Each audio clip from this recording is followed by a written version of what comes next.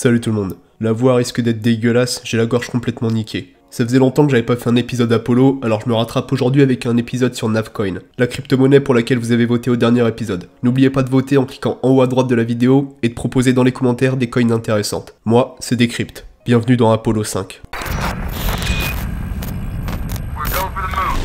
Alors, c'est quoi Navcoin? Une crypto-monnaie avec un market cap de 25 millions de dollars, classé 244ème. Au niveau du prix en BTC, on est retombé au même prix qu'il y a un an. On n'est pas sur un projet surcoté et il peut être échangé sur Binance et Bitrex. Nav n'a pas eu d'ICO ou de prémine, on est sur un consensus proof of stake. C'est-à-dire que vous allez placer vos NAV sur un wallet connecté à la blockchain et être récompensé à hauteur de 5% par an. Dans la réalité, ça sera plus 4% car une petite partie est réservée au community funding, ce qui vous permet de proposer et voter pour les projets liés à Navcoin. Donc de décider du budget de la team en fait. On pourrait penser que l'inflation de Navcoin serait de 5% par an, mais on est plus sur du 2 ou 3% par an car la totalité des NAV ne sont pas en phase de staking. D'après l'explorateur de blockchain, 40% des NAV sont en phase de staking. Le nombre de NAV en circulation va monter de 2 à 3% par an, ce qui est très raisonnable en termes d'inflation. Si je dis pas de conneries, ARC doit avoir une inflation de 5 ou 6% par an aussi. Un point intéressant sur le staking de NAV, c'est NavPy.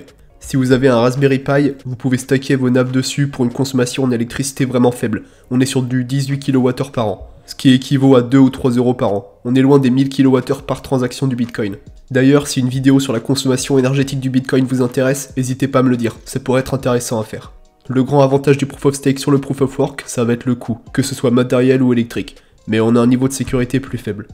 Navcoin est un fork du Bitcoin, un fork assez vieux car il date de 2014, on a des frais de transaction plus faibles et une vitesse de transaction plus élevée. Segwit a été activé, ce qui veut dire que Nav est compatible Atomic Swap et Lightning Network. On a aussi des transactions anonymes et privées en option. Le block time est de 30 secondes et les transactions entre wallets se font en 5 secondes environ. Il y a plusieurs vidéos disponibles sur YouTube, j'ai mis des liens dans la description. Je vais juste vous montrer la vidéo que la team officielle a présentée.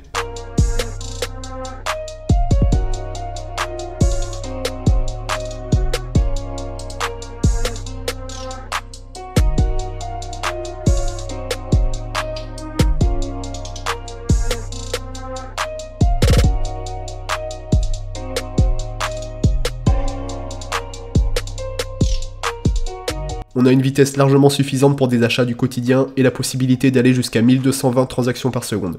Sans compter le Lightning bien sûr, qui a un taux de transactions par seconde infini sur la théorie. La team n'est pas anonyme, la liste est disponible sur leur site, et on a une roadmap intéressante.